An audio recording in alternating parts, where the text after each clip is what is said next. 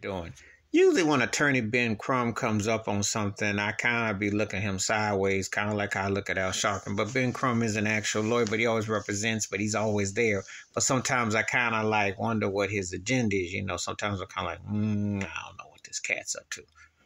But this lawsuit potentially against Ron DeSantis for rejecting African American studies courses, oh, I'm with him on this. DeSantis is a racist piece of trash. And I'm going to tell you something majority white folks and the Latino community are going to have to do some explaining why they justify and why they support him. Let me tell you something. Yes, he's running for presidency, but can he win? I don't think he crosses over near enough. And I think that his racist rhetoric is what's going to bite him in the behind. Now, one of the things that they say about him is that he doesn't have the appeal, and he doesn't. For all the flaws that Donald Trump has, and blatant, all the flaws that Joe Biden has, and they're fatal. They smart enough and smooth out just enough edges to have some appeal. You know, Trump has black supporters, and they're a long line, and he knows how to tap into the preachers. He knows how to talk into the streets. He has appeal. Biden used old school rhetoric, but yet he aligns himself up with the right faces and places, and it looks like he halfway kind of cares in his own twisted way. But those Archie Bunker types ain't all Archie in the sense that they figured out a way to nudge a Howard Stern appeal in a way to or a Bill Maher approach appeal. It's real slick how some races can able to get the right nudge. But DeSantis has no appeal at all. He, we know he's a hardcore Klansman. He just don't wear the hood and he's got brown in his skin. But we know he's Klan.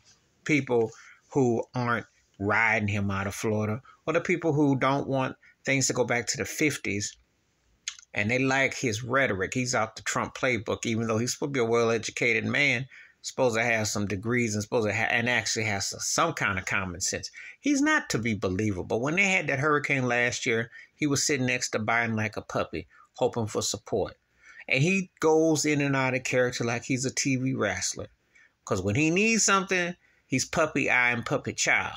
But when his behind is up to his old racist agendas and ways, he wants to anti woke, anti everything. I'm gonna tell you like I tell it the best I can. If you ain't blow, if you ain't black and you ain't been through the experience or you ain't been around black folk like that, you cannot be passing legislation or passing situations without knowing. Not the tokens who'll sit there and tap dance and grin and say, yes, I'm Master DeSantis.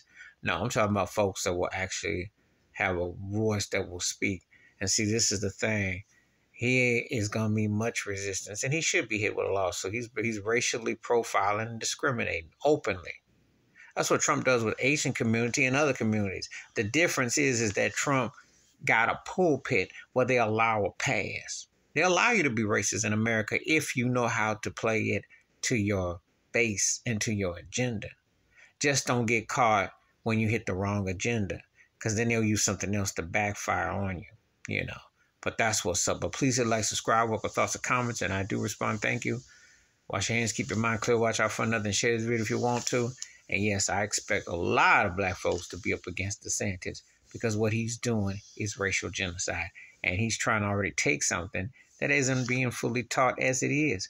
Because America hasn't been woke because of the truth of it came about with the importance of African Americans in this culture and the depths and magnitude and what they've done believe me, you'd want to erase the whole school system and they'd have to start from scratch. And we know they don't ever want the truth to come out. I'm out.